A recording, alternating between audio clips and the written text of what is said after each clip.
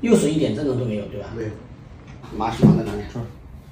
是有没有是觉得是这样这样一个？对，就这样。啊，就是说你看边上看到这个白色嘛，这个是水，就是脑积液，中间这个灰色的是脊髓，脊髓是泡在这个水里面的。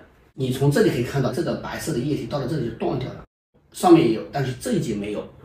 是因为这个突出的，它往后面顶之后，它就已经压到这个脊髓上面，它把把这个水就压开了。这个就是已经到了一个你要出症状的临界点。如果说它再继续往后突，它会在你的手上面表现出这个症状出来，这个叫神经根性颈椎。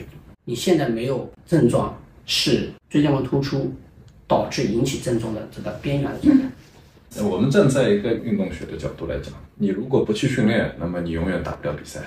我觉得从基本的原则上来讲，就是一个叫循序渐进。你一开始，如果你原先是不是做五十公斤的，你先从五公斤开始做。你想问的是后续的治疗，但我等于说还是要反问一句：你的计划是什么？可能你要去打的那场比赛是几月份？希望能在十二月份。现在才四月份，有个半年以上的准备期，我觉得这个情况该稳定的就稳定了。如果有有新发的问题，也会发出来的。这个半年时间已经观察，在我们我是这样够长了。好，谢谢。说就放心了，对吧？